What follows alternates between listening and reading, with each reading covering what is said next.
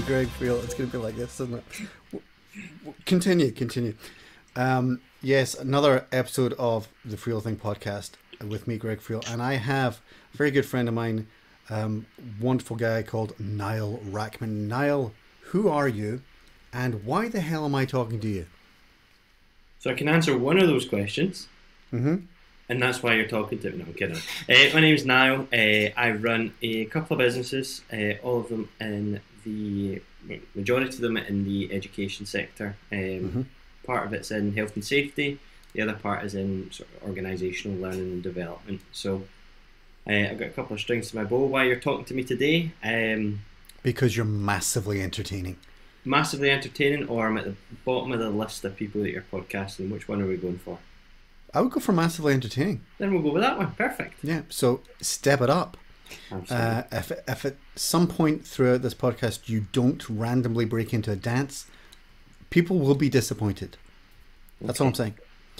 Um, anyway, so Niall, we were just discussing before we went on air, as it were, when we first met, and we were trying to work out exactly when it was. It was we've never actually met in the real world because of the whole lockdown situation, which feels really, really weird because it actually feels like I've known you for years. But I think we met at um, a networking event run by uh, the lovely Courtney Flynn, um, and when she was still working at Now Meet or Now the conference thing that she was doing. Um, yeah, so it was Now Meet was the event. Yeah. Um, and then reconnected at Virtual Coffee at the Castle, um, which um, is run by Dan Christie, uh, and yourself on Zoom duties. Um, yeah, so when was that? That was what, maybe August, September? yeah, some, something like that. Yeah. Um, And life has never been the same. no, once you, once you go Greg, you never go back. That's what they say. Indeed. Um, yeah, something like that. Yeah, we'll go with that one. Um, yeah. but just when you were mentioning there about never meeting people in person, it's a dead weird concept. A dead weird thought, if I'm honest. The number of people that we've met over the last year just using Zoom, hmm but you don't know how tall anybody is. I don't know if that when, it, when I meet you in real life. I'm 5'11. You're, oh, right, okay. But Okay. that's roughly the same height as me. I'm sort of a, a borderline 5'10. It depends who's asking. If it's on the Tinder profile, it's 5'10. Yeah, that's quite funny because in my head, I think you're like a wee guy. I'm, I'm small, smallish. I'm, I'm average size. We'll go with average size. Um, Mm-hmm. Right, okay. unless, unless it's on the Tinder, then I'm six foot two Indeed. and extremely well built. But you got I was always size. gutted that I didn't quite hit the six foot mark. It was 5'11. I'm like, not quite six foot. It just really kind of annoyed me. I was like, no, must grow taller. Which explains why I sometimes wear high heels. That's a discussion for another day. Anyway, uh, so Niall, let's go back to pre-COVID, and what was your what did your business look like then? First to train, you you, you were doing your training, but how, how did that differ from you know what came after? So we started the business. I say we. It's the royal we. Um, it's me. One. Uh, it, it is. It is me. Uh, I started the business after uni in 2019, June 2019, having completed my five years at uni, and thought, you know what, fantastic. Let's uh, Five years. five years at uni, four years in Scotland, one year in Madrid in Spain, um, which was Really? Wow, nice. Which was great fun. Um, What did you study? I studied international business and languages, hence the Spain side of things. Um, Right. And then when I was over in Spain, I worked for an accounts firm uh, for an internship for between December and August. Um, On a scale of one to ten, how dull was working for an accountancy firm? I loved it. Really? Absolutely loved it. Wow. Yeah. Um, Okay. It was it Not was a my idea of fun, but still okay. Yeah, um, yeah. I mean, I mean, don't get me wrong. Doing the physical work was was uh, interesting, shall we Mhm. say? But I, I basically had to work in Spanish language the whole time. Oh wow, amazing. Um, basically, So- the day I So very practical application of what it, what it was you're actually studying at university, which is kind of unusual. absolutely well, the day I arrived at the office, there's an email circulated around basically saying Niall has arrived in the office. Niall is an English speaker, but he needs to learn Spanish. Do not let me catch you speaking to Niall in, in English unless there is an emergency. Basically, Wow. uh, you must speak to them in Spanish, and it was the best thing that could ever happen to me. Um, probably was very frustrating for my uh, my colleagues to start with when they spoke to me in Spanish, and I looked at them like the typical British person, like no idea what you're wanting me to do here. Mm-hmm, mm-hmm. Um, but you know, I learned Spanish, and to this day, I can still speak it more or less. Uh, How did you How did you um, learn? What was your your method? what was my method? Uh, don't speak English as much as humanly possible. Um, yeah, no, but you don't just randomly just pick up stuff and you know. No. d- Did you like have like audio books or anything like a course or something like that? To, or, So- or was it just being so immersed in the fact that you're there and talking to people that you know? I guess I'm, I guess I speak Spanish now. It, it was it was sort of a bit of that. It was I used to listen to there's a type of music called reggaeton, um, which is like Spanish pop-ish music. It's like Yeah. what, what, what the young ones, the young ones. The young ones, because you're so old.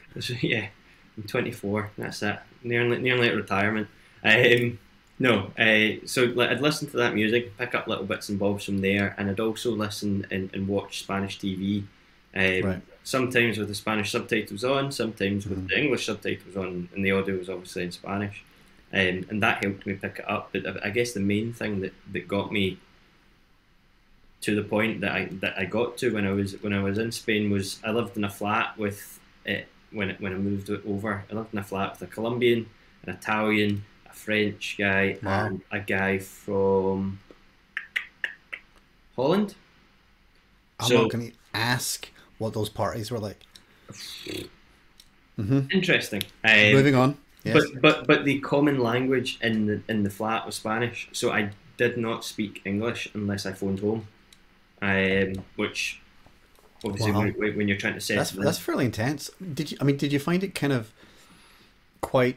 I would find it maybe a bit kind of almost kind of claustrophobic. You're kind of like I kind of need to, you know, speak, you know, what what you're used to you used to speaking. You know, was it frustrating? Mm, more frustrating internally when when I'd be told how to say something and I'd forget because obviously you can't you can't pick everything up Mhm. straight, straight away, uh, and there was certain words that I would forget or certain sort of uh, categorization of, of, of the phrases that you would say. Mhm. Um, but you eventually it, it just clicks one day and you wake up and you'll be like right okay I know Mhm. how to say these sentences now. Um, so I can say Yeah. a lot of different Spanish words in relation to accountancy that I don't think anybody who's an English speaker needs to know. Mhm. As long Uh, as you can say two beers in Spanish, then you're all right. Absolutely, and and a table for four, as good old Kevin Bridges teach Indeed. uh, taught us all. Exactly. Exactly. Um, but yeah, back back to back to the story. So I, I, I did my five years at uni. I um, finished up in 2019. I tried to get a grad job, but unfortunately, although you were mentioning how great I was, um, to the recruiters of the big firms, I was not good enough. Um, so I couldn't get a job, and I thought I, I volunteer part time in the medical field, and I thought um, part of that was community outreach, and I thought, you know what, people like doing first aid training, especially when I do it. Um, and that's just blowing my own trumpet there. Um, of course. when You'd never hear me talk about myself like that. never, No. never, never, No. absolutely not. Um, yeah, so so so once once I decided to go down that, I thought absolutely everybody will love to do first aid training. I'll start my first aid company up, work for five years, and retire to the Bahamas. It'll be great. Uh, and how naive I was.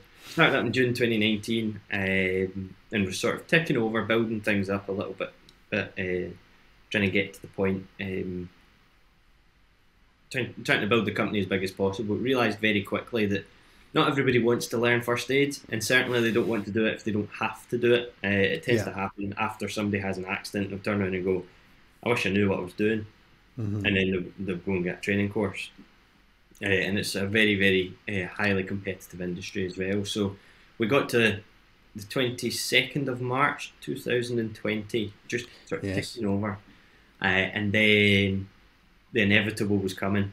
Um, so Lockdown.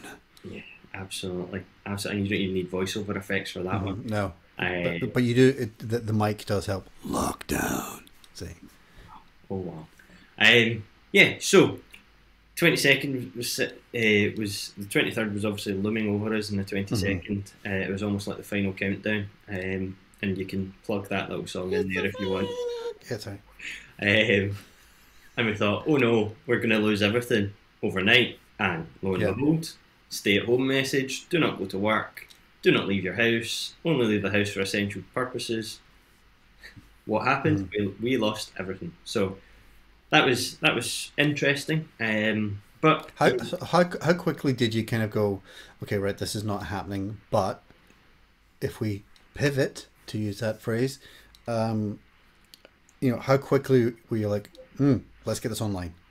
Let's try and get this online and make this work in, in that kind of capacity. so it Was took, that, did you panic and kind of go, let's do it now, or was it, let's just sort of see, is this going to be a couple of weeks, or or what's happening? It took me to week two of the initial three weeks that we were meant to be in lockdown. Remember when we said three weeks, Yeah. and that would be it, back to normal, back in back into the pub having a beer. Uh, it took me till about week two, and I went to uh, went to a networking event, um, and was was basically one of the speakers at the event said, writing a bit of paper saying, "What does this mean mean now?" Uh, and basically did, did did a good bit of mind mapping. Is that is that the politically Brit- Mhm. political correct way to say that now? Um, we'll go with that one. Mind mapping, and basically decided at that point what was what, what we had previously will not sustain and, and survive the period of of, of lockdown, no matter how, how long it's going to be, and we need to sort of pivot. And I hate that word, but pivot and make I a change. I just think I think of it. Ross and Friends with the couch. That's Yeah. as, soon as, as soon as anybody says that, that's what I think. and I'm gonna I'm gonna make a quite um, a revelation here. Is I don't like Friends, nor do I watch Friends. However, that It's been nice talking to you now. uh, it's been great. It's been great. Um, Interview ends now. um, No, I can I can understand that. I mean, not- my wife and I all but- grew up, grew up, or rather grew up together. As it, it was really whenever we um, whenever we first started seeing each other, Friends was the thing. So Mm. um, so it kind of it maps our relationship at the same time. So Mm. that's it kind of. I, I, did think it kind of lost it a bit. In it, season ten, see the the whole thing with Joey and Rachel. That I was like, nah, I'm out. I, I So- mean, but this this will mean nothing to you if you if you're kind of like, no, I don't like Friends, I don't watch it. no. I mean, I grew up with Breaking Bad, so we can take from that what what Okay. I grew up learning about and, and what to do. But um, for the purposes of law enforcement, I didn't. I, it's not me. It's Greg. Um, but yeah, um, back to the back to the pivot. We, we, we came up with the, to the conclusion that things weren't going back to normal very quickly. Yes. So we thought, how do we take our training online? Now we did first aid training, which is practical, hands-on training.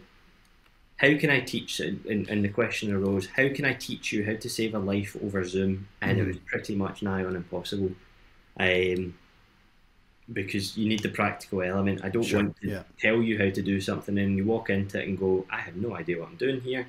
Um, I've And never there's a lot that. of blood. Yeah, and and it's a bit and it's a bit messy, and you have to think back to a Zoom class rather than I Mhm. remember doing this. Uh, you, yeah, Like, you, you have um, that sense memory that my I did my Yeah. hands did this and it, yeah, absolutely. Yeah, absolutely. So, so I've got a, a, an extremely, um, I'm, I'm extremely fortunate to work with a gentleman uh, called Michael Byrne, um, and I've been working. I know Michael very well. He's actually been a guest on, on this podcast. Fantastic. I love his work. Fantastic stuff. Fantastic. Um, yeah, so Michael and I met each other just about December 2019, November, December 2019, and we started speaking to each other. Obviously, not with anything in mind, thinking of anything at all. We just started chatting to each other um, because I taught first aid for mental health, and he's massive in the mental health field in Yes. the area. Um, so lockdown hit, we were sitting and we had a conversation again, and basically we came to the conclusion that the two of us can make something incredible, not just for ourselves and, and as a as a business, business point of view, yeah. but we can help people and we can Yeah. benefit individuals. So in May, so it took us about a month to sort of figure out the, the bits and bobs that we are needing to do, and then it hit May time, and we launched our first aid for mental health, mixing the academic side, which is which was a qualification, and then threw in the lived experience of what Michael was being through. Yeah. Which is basically why didn't somebody notice? And why didn't somebody spot the signs? And using that lets us show um, and, and brings people into the fact that people are suffering. People are going through things but do you pick it up pick up on it? Why not? Mm-hmm. and then it encourages people to look into things a wee bit more. Um, so we so we've been doing that and then working on different projects and different things all the way through the year. Um, we've been extremely fortunate that we managed to get a couple of grants through, which has allowed us to, to develop in, in different areas. Um, one of which was our sort of our main diversification strategy, which is our platform that we're that we're looking to launch over the next soft launch in the next couple of months, and then full mm-hmm. market launch in the next six months, which would uh, which is workplace training courses, um, which is our big platform for learning okay. development. Is that going to be like a live training thing, or is it going to be like an online resource where there's videos and that kind of set of things? So it's like a Udemy course or that kind no. of thing. Um, I'm I'm a strong believer. I, I spent years in hospitality, working in hospitality, and we would get sent links to complete e-learning modules, and I hate them with a passion. Yeah, yeah. Uh, and I'm sure that I'm not the only person. If anybody's watching this, you're probably nodding your head along as well, thinking, "Yeah, I don't like e-learning." I think you're assuming that people are watching this now that's also a great assumption there as well. Yeah. Um, yeah. Oh well. Um, so yeah, the, the, the, the element of e-learning has its place in society, but it's yes. over. I, and I think it. I mean, it, it depends on how you like to learn. I mean, that, I think you know that doesn't work for you, but there's other people that are like, you know, I like to work at my own pace, yeah. and I like to be able to do this. But sometimes it's the blended approach, having you know the pre-recorded video, but then there's going to be like a, a live Zoom call or something like that at some point, and then it's going to be able to mark it along the way, um, and it kind of you know you're able to kind of m- maintain progress, and it kind of you're you're accountable then to kind of work through the program rather than here it is you're on your own. Yeah, yeah. Good luck. Uh, I signed yeah. up to about four or five e-learning courses, and they're all sitting on an account somewhere that I've never. I've, I've done maybe one day and then gone. I've got no drive to go back to it. Mm-hmm. Um, and as as a country, we've had a year of, for some of us, has been a year on furlough, sitting in the house, not really developing our own skills and, and, and doing doing things. So I think as a, as a country, we're going to have a little bit of a a little bit of catching up to do, shall we say? Um, and what I'm wanting to create and what I'm in the process of creating is a space where any type of teacher um, in terms of that could provide value to organisations can be found and be booked and everything sort of in the one place for them. Um, yeah, make it making the whole sort of customer journey in general easier. Um, mm-hmm. Find finding training and developing the smaller trainers, the the, the little uh, the little guys, shall we say, or the little people. Um, shall we say, um, develop their own businesses as well. So that's what that's what I've been up to. That's how I've pivoted. I've looked at the general market, looked at things being mm-hmm. changing. We are going to change. We have to accept the change, and just adapting. And, and, and I was about to say the Bear Grylls phrase of adapt and overcome there, but um, mm-hmm. that sort of idea.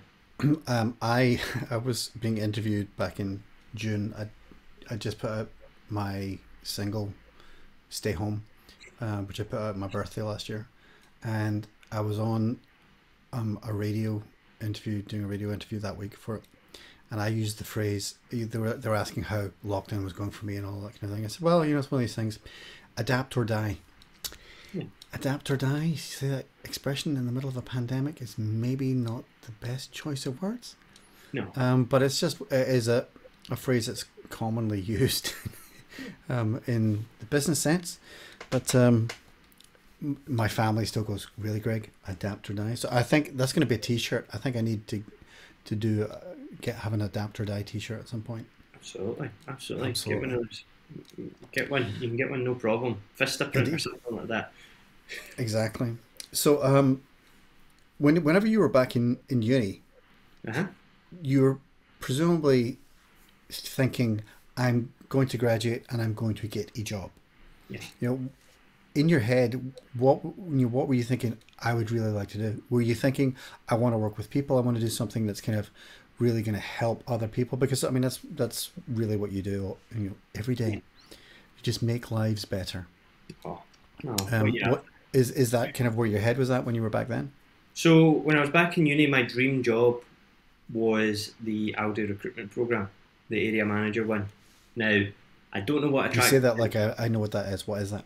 the area manager program was a year long, two year long program, um, where you went in, got all your training, and by the end of it, you were given an area and a bunch of supermarket stores to basically, in in essence, you own them in terms of ensuring everything runs properly. Right. Okay. Um, but you obviously have the brand and the backing of the Aldi head head, head office. Um, so it was something that was heavily, heavily marketed at uni. Like any any um, mouse mats in the uni were all the Aldi graduate schemes uh, mouse Really? mats. Right. Um, but it was it was something that I, I don't know what attracted to, to me the most was the element of the um, compensation. It was massively higher than any of the other ones, um, and you also get an Audi with it as well as a company car. hey. Um, an Audi from Aldi. An Audi from Aldi, yeah. Um, I wonder if that's why they chose that brand. Possibly. That's that's quite smart. I've just realised that. Um, My anyway, marketing brain taking over. Absolutely, absolutely. So yeah, that's what I wanted to do. Um, I wanted to do that purely from, or move back to Spain. That was the two things that I wanted to do. Yeah. Um, naturally, having lived in Spain and, and loved it completely, um, if I had the chance, I would probably have gone back, um, but I chose not to, purely from the element of what happened on the 31st of December 2020. Was that? Or is it 31st of January? Brexit. Whatever day Brexit. Oh right, yeah. I was going. Well, I was going. What happened? Oh right, yeah, yeah, yeah, yeah. yeah. Uh, yes. rem- rem- remember that thing that happened? Yeah, yeah, yeah. It's kind of like pandemic, pandemic. Oh, Brexit. Yeah, yeah. Um, yeah. I didn't want to move all the way over to Spain, get my life sorted out, turn around And and, turn around and say, "Oh no, you can't actually stay here anymore. Mhm, you need to that, yeah. up sticks and leave again." I'm like, all right, okay, well that would that would be a waste of time. So, yeah, that's that's what I wanted to do. Um, and nowadays, don't know don't know where I'll end up.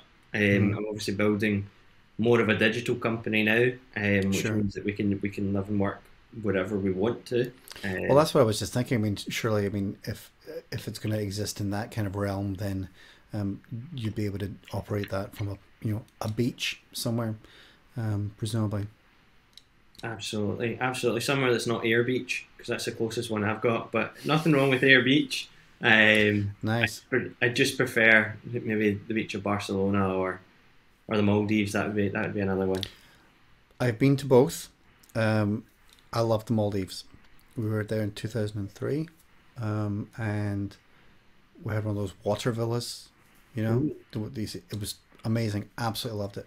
My wife was losing her mind because there's nothing to do. Literally, I, I'd been working, working, working, and like really, really needed the time off. So I literally just slept and lay out in the sun and did nothing, which was ideal.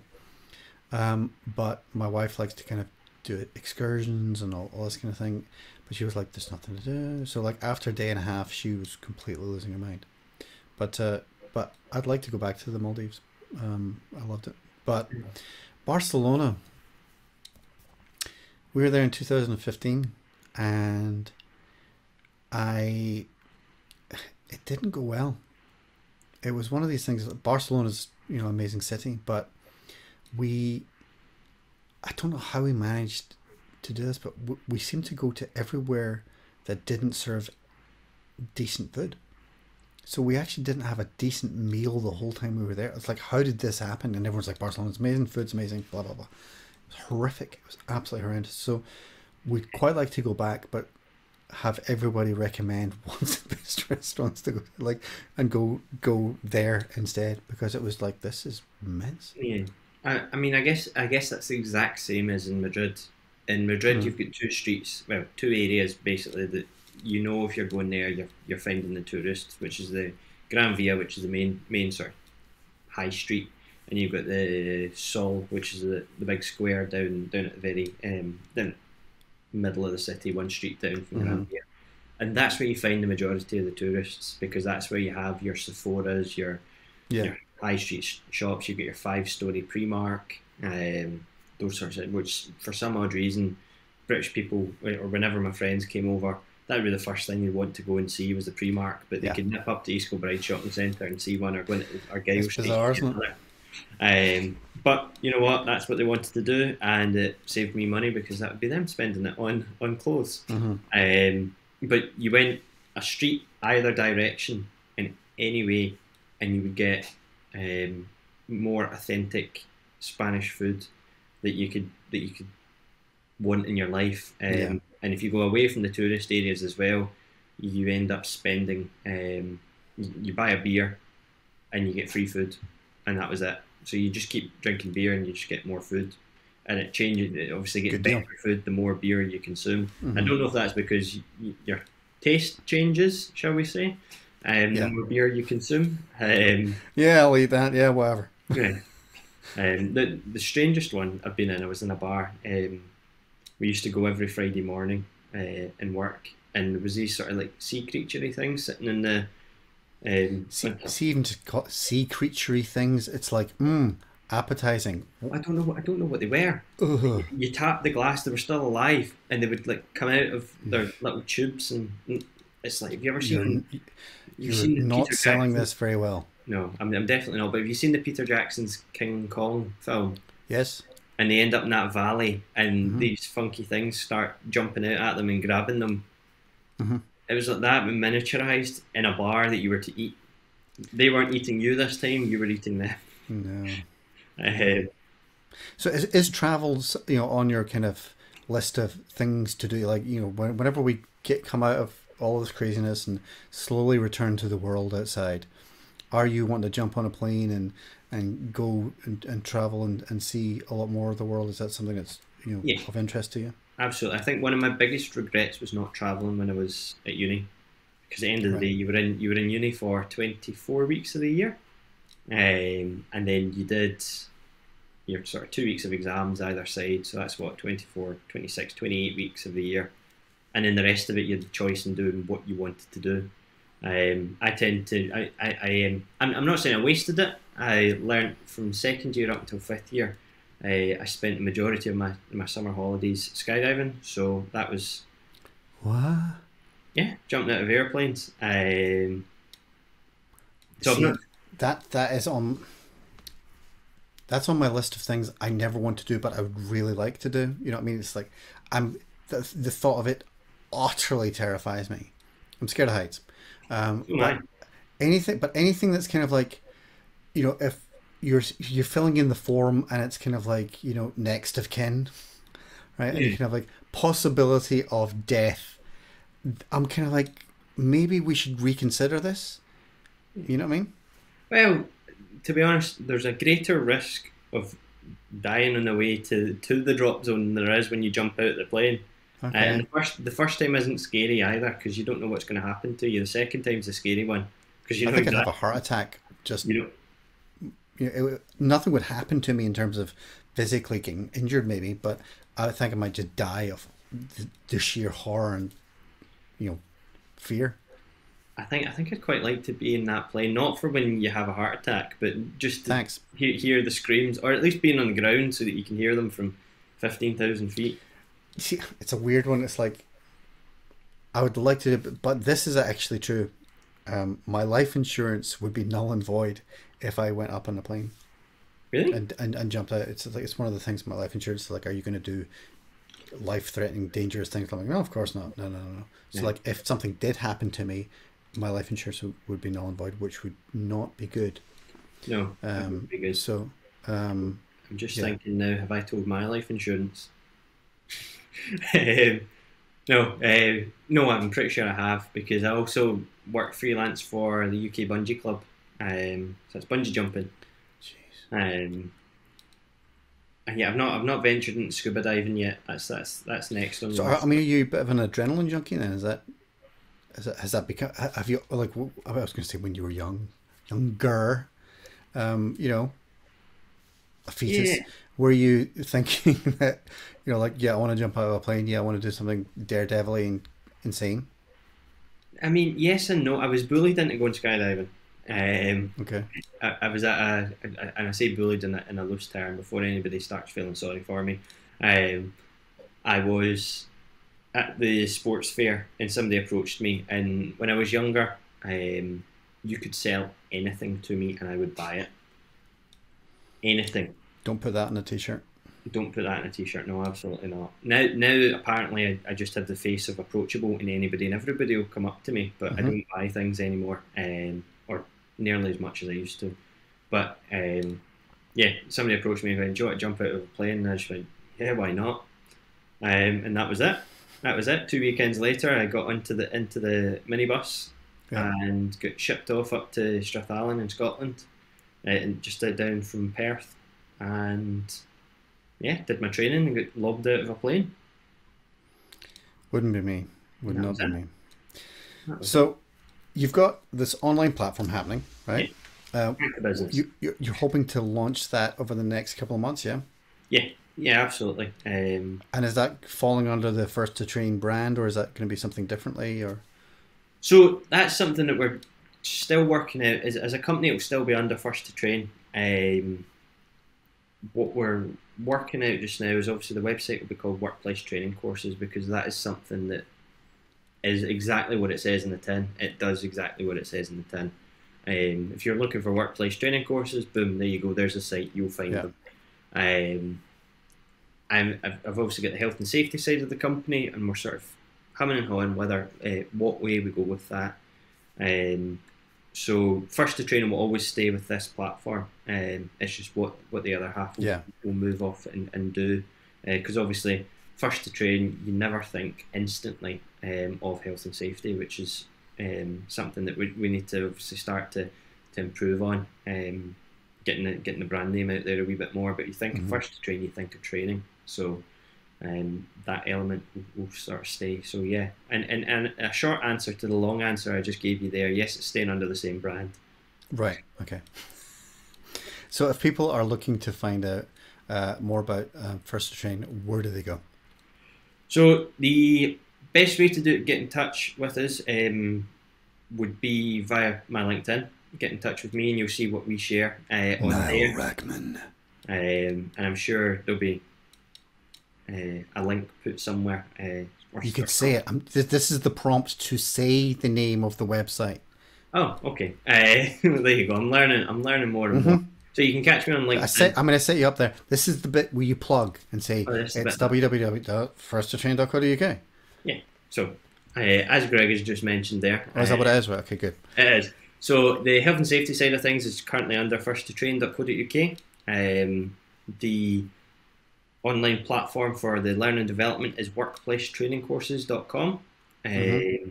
And to get in touch with me personally, it is best just grabbing me on LinkedIn. You shall find me under the name of Niall Rachman, uh, which is R A C H M A N. And you can probably. Do you like to do the uh, kind of guttural?